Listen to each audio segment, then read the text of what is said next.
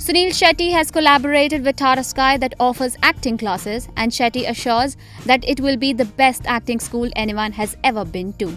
On the sidelines of the launch of this initiative, Shetty said, हम नई actors की बात कर रहे हैं जो जिन्हें बार बार ऑडिशंस पे फेलियर मिलता हर एक को एक मुकेश छाबड़ा नहीं मिलता तो वो उसके लिए क्या करते we talk about fitness for acting we talk about fashion and acting we talk about acting itself we talking about हम हम स्ट्रगल स्टोरीज की बात कर रहे हैं हम सक्सेस स्टोरीज की बात कर रहे हैं फ़र्स्ट ऑडिशंस की बात कर रहे हैं। तो आई थिंक ये कंप्लीट जेन्युइनली एक कंप्लीट एक्टिंग स्कूल है एक डीटीएच के प्लेटफॉर्म में जो शायद कोई भी फ़िल्म इंस्टीट्यूट नहीं सिखा पाएगा।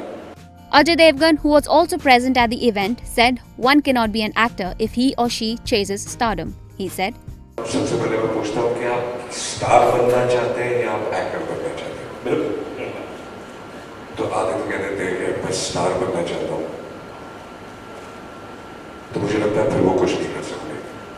जिनका शौक एक्टिंग का है उनको फिर एक्टिंग सीखनी पड़ेगी। तब जाके वो स्टार बनेंगे। तो आई थिंक वो एक रास्ता टाटा स्काई और एक्टिंग अड्डा और इन सबने अन्ना ने खोला है। IANS report.